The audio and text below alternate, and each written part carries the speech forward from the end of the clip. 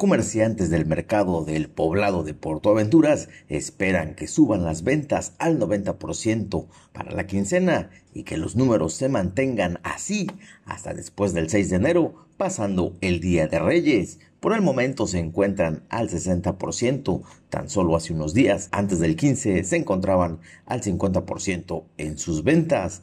María Esther, locataria del mercado de Portoaventuras, comentó que por el momento continúan las ventas bajas, aunque han subido un poco después del 15, no se han alcanzado las expectativas esperadas. Sin embargo, para la próxima quincena esperan que se dé el repunte considerable, alcanzando hasta el 90%, situación similar a la experiencia que tuvieron por estas fechas el año pasado. Pasando Reyes. Pasando Reyes, o sea, después del, El 6 de enero. del 6 de ya enero ya. a ¿Y a cuánto, cuánto es la expectativa según la experiencia de años pasados lo que, lo que han vendido? O sea, llegar al 100% de ventas, 80, 90, no sé.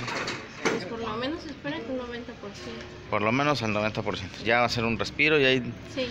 Y es que explicó que lo que más espera vender son prendas masculinas, sobre todo camisas. En cuanto a ropa de mujer, las blusas son las más solicitadas. Añadió que las ventas se disparan debido a que la gente quiere estrenar e ir luciendo para las cenas de Navidad y Año Nuevo, así como todas las posadas y preposadas. Desde Playa del Carmen para Notivisión, Edgar Olivares.